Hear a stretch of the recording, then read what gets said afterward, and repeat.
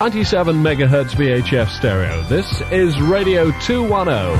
Radio 210. Good morning.